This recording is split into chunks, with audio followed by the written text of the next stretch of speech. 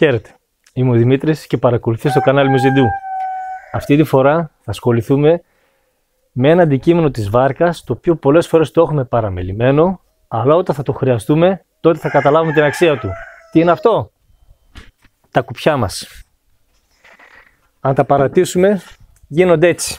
Φαρμένα, ίσως είναι έτοιμο να σαπίσει. Γι' αυτό θα πρέπει να το ξύσουμε, να το βερνικώσουμε και να γίνει καινούριο και ακόμα καλύτερο από τη μέρα που το αγοράσαμε. Ας ξεκινήσουμε με αυτό εδώ το κουπί ξύνοντάς το.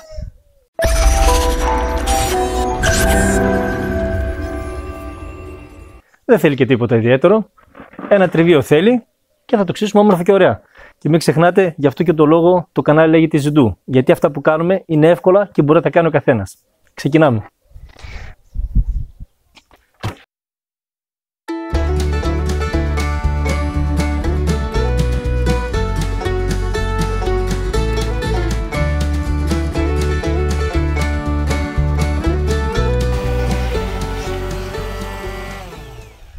Τελειώσαμε. Αυτό ήταν. Ξύθηκε το κουπί πολύ καλά. Όπως βλέπετε δεν έχει μείνει τίποτα. Αλλά έχει αρκετή σκόνη επάνω, η οποία πρέπει να φύγει για να μπορέσει να πιάσει καλά το βερνίκι. Πολύ απλά. Θα πάρουμε μια βρεγμένη πετσέτα. Τη στραγγίζουμε καλά και θα σκουπίσουμε το κουπί μας. Δεν θα μείνει τίποτα έτσι. Η λίγη υγρασία που θα μείνει πάνω στο κουπί, σε 5 λεπτά θα έχεις στεγνώσει. Δεν είναι τίποτα. Ορίστε, ας το βάλω εδώ καλύτερα.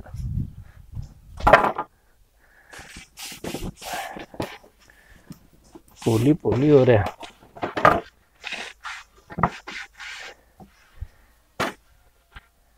Έτοιμο. Τώρα θα το βερνικώσουμε. Θα το περάσουμε ένα ωραίο χεράκι και να δείτε πώς θα γίνει. Ας ξεκινήσουμε. Είμαστε έτοιμοι να ξεκινήσουμε. Και εννοείται δεν θα χρησιμοποιήσουμε οποιοδήποτε βερνίκι, αλλά βερνίκι θαλάσσης, το οποίο περιέχει και φίλτρο UV, αν θέλουμε να κάνουμε σωστή δουλειά. Ξεκινάμε.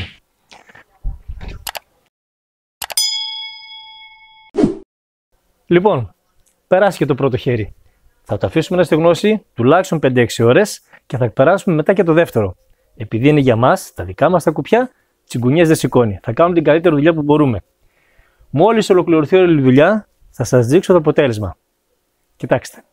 Έγινε και το δεύτερο χέρι. Κοιτάξτε πόσο πετυχημένο και όμορφο που έγινε.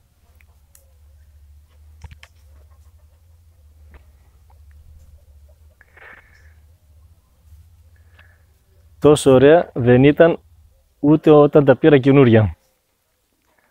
Βλέπετε, με την ευκαιρία κάναμε και τους καρμούς και όλα είναι έτοιμα. Ναι, γιαγιά έτοιμα είναι. Να και αδυναμία μου η μεγάλη. Η γιαγιάκα. Αυτά. Καλές άρσες να έχετε και καλά να περνάτε. Καλά να περνάμε.